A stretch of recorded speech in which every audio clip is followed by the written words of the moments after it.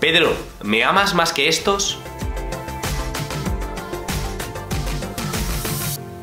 Hoy realmente podemos decir que la pregunta del Señor tiene narices.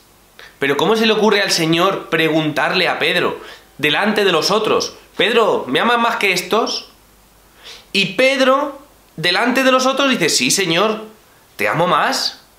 Pero ¿cómo me vas a amar más si me acabas de negar? Eso es el criterio de, un criterio razonable, pero que no es un criterio sobrenatural. Cuando el Señor le pregunta a Pedro, Pedro, ¿tú me amas más que estos? Quiere decir, Pedro, sé que tú me amas más. ¿Por qué? Porque tu corazón pertenece solamente a mí, aunque me hayas negado, aunque hayas tenido pecados, aunque te hayas alejado de mí, sé que tu corazón está cerca de mí, sé que tu corazón pertenece solo a mí y que el criterio que quieres seguir es el criterio de la voluntad.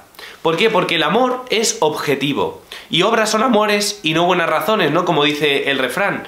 Yo no puedo decir que amo mucho a Dios y no hago nada.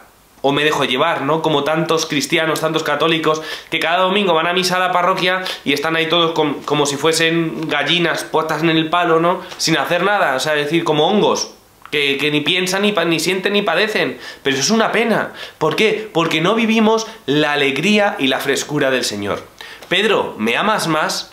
¿Por qué el Señor le pregunta eso? Porque el amor es objetivo y el amor se ve. Soy el Padre Borja, que Dios te bendiga.